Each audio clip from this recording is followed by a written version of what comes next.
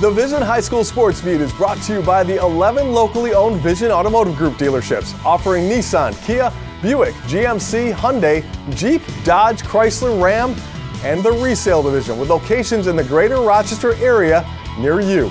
Visit visionauto.com.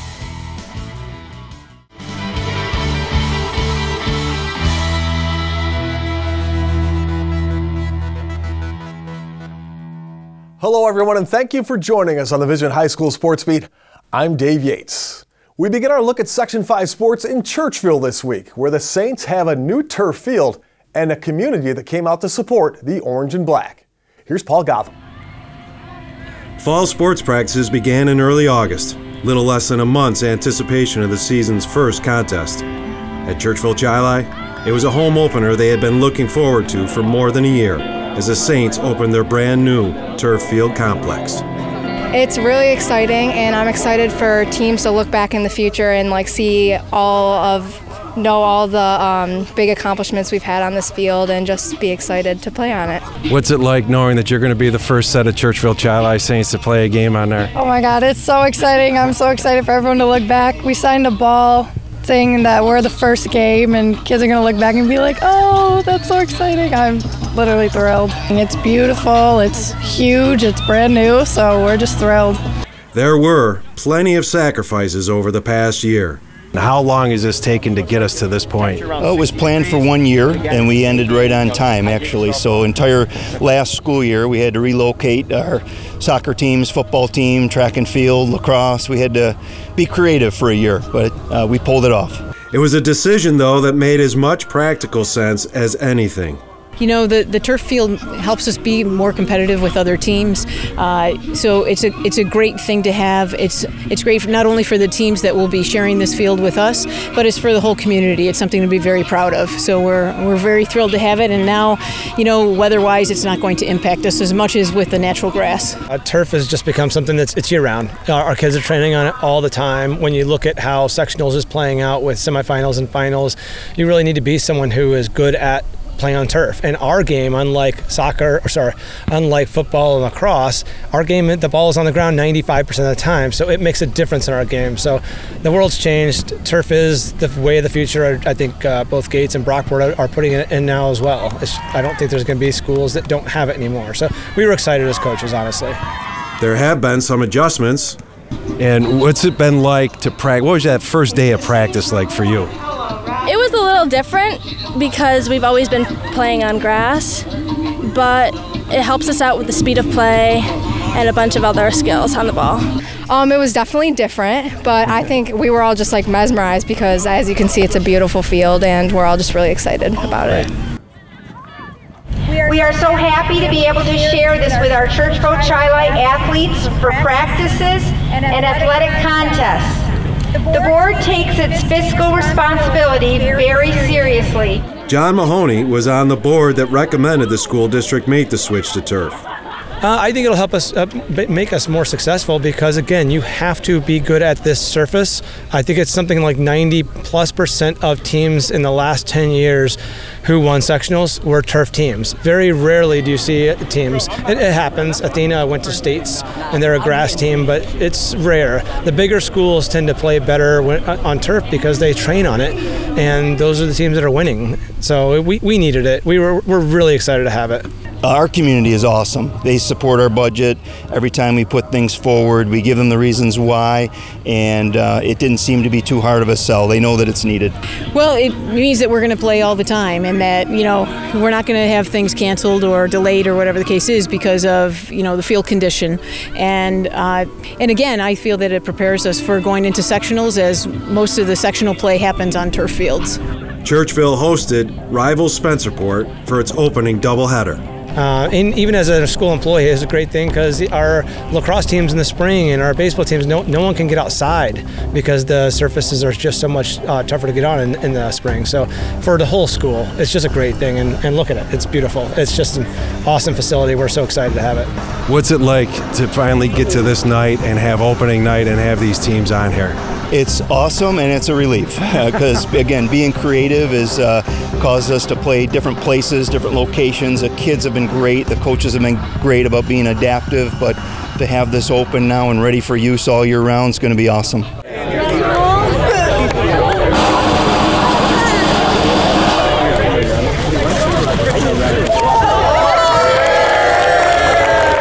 From Churchville, this is Paul Gotham with Division High School Sports Beat.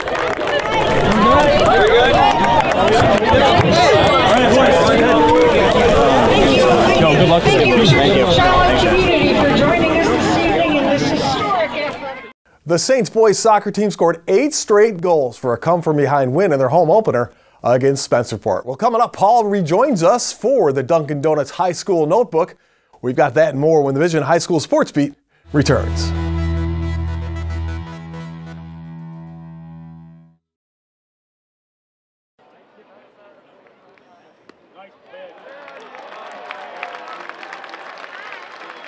I love you.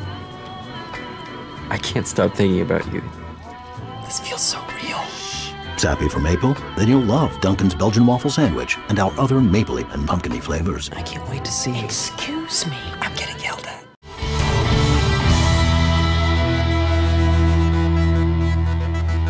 Time now for the high school notebook brought to you by Dunkin' Donuts. America runs on Dunkin' and joined as always by Paul Gotham from pickinsplinters.com. Paul, interesting kind of combination today that you might not expect between a football team and a soccer team. Explain that. Yes, Wilson High School, Hilton High School, football, soccer. There is the connection, father and son connection, and there's no coincidence that the son is as hard of a worker as he is. And tell us a little bit about it. What's what's the deal? So Hilton gets off and wins their first three games of the year. Their closest game was against Webster Schrader.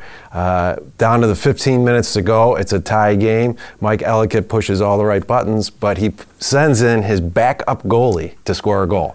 his backup goalie to score a goal, and sure enough, uh, Andrew Cavuto comes in for his coach and, and delivers. Uh, Mike described it later as, a, as an alley-oop play because Justin Aralotta headed the ball off the off the crossbar, and Andrew was there with the with his own header uh, to win the game. Here's the thing Ellicott, after the game, couldn't say enough about Andrew, again, as a backup goalie who works harder than anybody in practice. Sometimes he's he's in a line when they're warming up, he's taking, making saves, and then he's turning right around and he's getting a line taking shots. Well, there's no coincidence because when we talk about how good Wilson's football team is, the defensive coordinator is Ron Cavuto, the father of Andrew wow. Cavuto. So that's there's always that, uh, that saying about uh, great coaches have great kids, and uh, there's there's no coincidence that the hardest worker on Hilton High School soccer team is the son of a defensive coordinator. Paul, it's always nice to see a kid who works hard as a backup and it pays off for him in the end. Now, talking Wilson football, this time scoring as opposed to the defensive angle. Well, the defense also had a part of it. How about this? Wilson's football team scored three touchdowns in less than nine minutes and only ran one play from, from scrimmage. Uh, first play of scrimmage, Desi Floyd goes 75 yards uh, around the end for a touchdown. Uh, they stopped Brighton on downs. Ricky Gamble, who that earlier that day announced his commitment to the University of Albany to play football next year. Ricky Gamble takes the punt and goes 70 yards for a touchdown. Next set of downs, Brighton fumbles. Niger King Jr. picks it up and runs it into the end zone. They've got a 20 0 game, and, and it was it was no looking back at that point in time. Wow, talk about lightning in a bottle, right? That's fantastic. Good for them. Now, talking signings there, how about some other t- signings, talking uh, some baseball? Well, and continued Section 5 uh, success with our kids moving on uh, to college. We have four kids now in the last month, the highlighted, highlighted by uh, sophomore Gage Ziehl, who is committed now to the Miami Hurricanes, which is after him playing for the national team and all the success he had there, uh, now he's, he's paving his way to, uh, to his college education, which is great to see from the young man. Uh, Santino Rosso from Victor committed to Hofstra. And those are on the heels of Ben Beauchamp committing to uh, McQuaid's Ben Beauchamp committing to go to the University of Albany, as well as Ryan O'Mara also from McQuaid, who will now be playing at Niagara, following in the footsteps of Greg Cullen, Jeez. who went from McQuaid to Niagara and was drafted this past year. So a lot of success for Section 5 baseball. Always great to hear. Always great to hear and read about it on pickinsplinters.com. Paul, thanks for joining us as always. We'll be back with more of the Vision High School Sports Beat right after this. Coming up next, the Making the Grade nominee with Kim. And later on, there's a new kind of football coming to Section 5 this year. We've got that story when the Vision High School Sports Beat continues.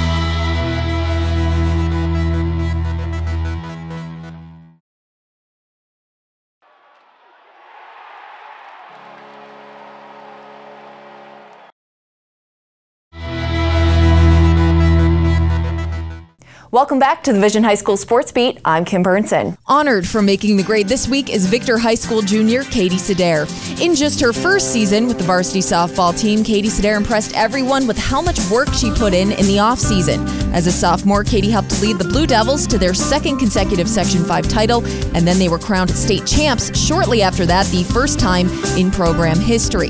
The then sophomore pitcher was named Class AA Player of the Year and MVP of the tournament after pitching four no hitters. There seems to be no offseason for Katie as she trains with pitching coaches year round. She's also a member of the UNY Revolution Softball Club to compete as much as possible. Her drive to succeed also extends to the classroom, where it's clear she puts in the work there as well. Katie maintains a 94 average and has plans to study biomedical engineering in the future. Nominated for her determination to continuously improve and for being a role model to her peers, this week Katie Sidare is making the grade. If you have a student in mind for our Making the Grade segment, we want your nominations. You can send them in to info at classywolf.com. And now here's Dave with the McArdles Section 5 Spotlight. Well, thanks, Kim. Here are some of the athletes, teams, and coaches making news in this week's Section 5 Spotlight brought to you by McArdles in Fairport. Come home to McArdles. Rush Henrietta grad Sam Smythe scored three goals for Nazareth in helping the Golden Flyers to a 3-1 win over D'Youville. Those are the first collegiate goals for the former Royal Comet. Mark Passero of McQuaid had a huge night in a 42-37 come-from-behind win over Canisius. The 5'6 Passero totaled 274 yards of offense, including 156 on the ground and three TDs to lead MCQ. Fairport Red Raiders boys volleyball accomplished one of its goals for the season, winning the prestigious Eden Can-Am tournament in West Seneca. The 43rd annual tournament saw 24 teams compete, including three state champs. It's a big win for Fairport, looking to get back to states this season. And finally, 2012 Gates Chili grad Kevin Gear has followed up a successful college career at Penn State with an opportunity to play professional volleyball in the Czech Republic. Good luck to Kevin with his new team, Aero Odolena Voda. And now a look at the varsity media top football plays of the week. And we will start off at number five. Luke Lupacella is going to go 50 yards for Webster Schrader, one of his two touchdowns on the evening. And Webster takes a 34-26 win over Spencerport. We go on to number four now. Freddie June for West Irondequoit, the Eagles quarterback, looking up top to Quinn Simonson. He outjumps the Athena defender. Irondequoit is 2-0 after handling the Trojans 42 to 7 on Saturday afternoon. At number three, Arcadia freshman quarterback Brian Shonitsky with just 10 seconds to go scores the touchdown. The Titans take care of Penfield 14 to 7. Arcadia is now 2 and 0. In at number two, Eastridge's Gunner Lattimore up top, and Tony Arnold with the ups pulls it in for the touchdown against Brockport.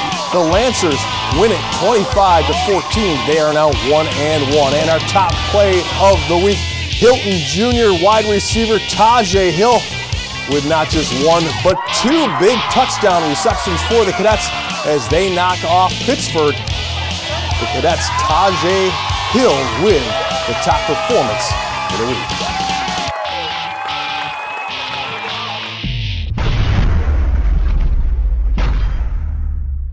Up next, the Holley Hawks are preparing for something new a season of eight man football. We'll talk about that and more when the Vision High School Sports Beat returns.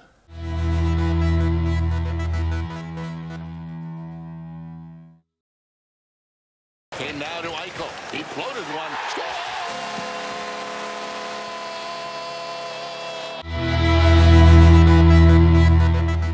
Welcome back, and thanks once again for joining us on the Vision High School Sports Beat. I'm Dave Yates. This segment of the Vision High School Sports Beat is brought to you by the Injury Free Coalition and our friends at Leo's Bakery and Deli. Please remember to always wear your seatbelt in the front and back seats and to focus only on driving when behind the wheel of a car. This message courtesy of the Injury Free Coalition for Kids Smart Teen Driving Program and our friends at Leo's Bakery and Deli.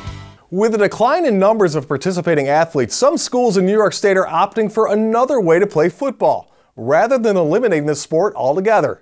Eight-man football returned to the state last year after a 30-year absence, and now Section 5 is joining the list. And for Holley and its football future, that's a good thing. Come on, gentlemen, let's go. During the course of a football game, a coach will be forced to make adjustments. Maybe it's because of injuries. Maybe it's because of the weather. Maybe it's because the opponent is doing something unexpected. But what do you do when the game itself changes? When the sport you've spent your whole life watching and playing is suddenly very different?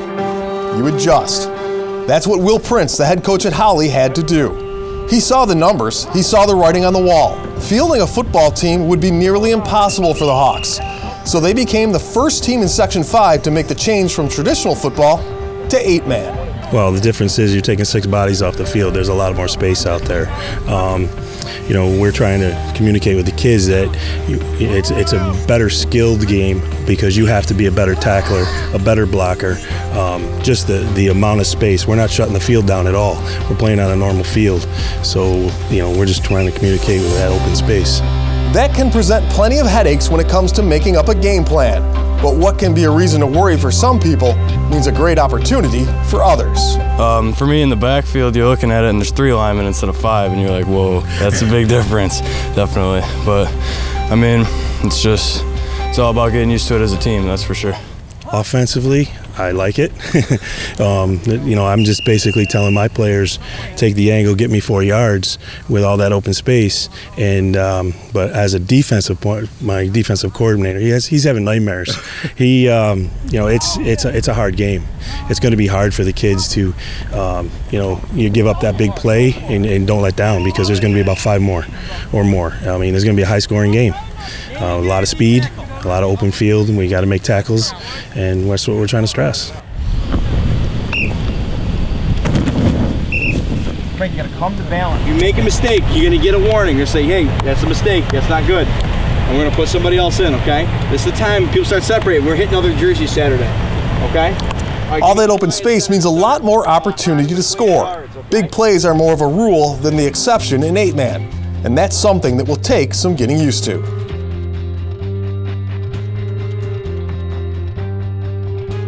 You know, we have some playmakers too, and you know, we just want to get the ball in, into their hands.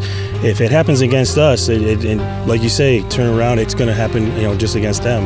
And this is a whole new program for us, so those things are going to have to get used to. We're going to have to learn, and we're going to have to build on that. Um, big plays are just going to be a part of the game. What are the biggest differences you see from a player's perspective, trying to get used to the, the switch being made? Probably on the defensive side, because you can't let anything get on the outside of you. If you let play on the outside or run on the outside get outside of you, it's gone. Some people have a hard time embracing change, even when it seems like a change for the better. Not everyone has jumped on board, but Prince thinks this is something you will see more and more of in the future. Oh, we hit it! Good job, good job, Hunter. Going in early, being the first team in Section 5 to say, yeah, this is where we're headed, um, we got a head start on it, and we did a great job. We had a, a parent night. Um, we had the superintendent come, the, you know, our athletic director. We, we talked with the parents, and we did a lot of uh, background and showed some film clips and had college coaches, um, you know, send us letters that I could read saying it wasn't going to affect uh, scouting or anything like that because it's still football. Um, selling it to the community is tough, and there's, yes, there's there's the naysayers out there still, um, but we're, we're here to make them believers. Um, eight man is, I think, it's here to stay for the small schools. It was hard to get into eight man football at the beginning, but now as we're progressing along, getting through practices, we're going. When you first heard about the change, what what was your reaction? In my head, I didn't really like it. I didn't like it at all. But now, as we're coming together as a family, it's it's getting better. Bottom line is this: eight-man football is here to stay because for schools like Holley, it's their only option. What's the alternative? You know, it's either you play eight man or you don't play. Um, you know, and, and you look out of here at these kids right here.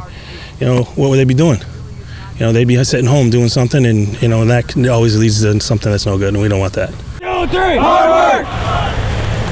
Back off. Wait, back off.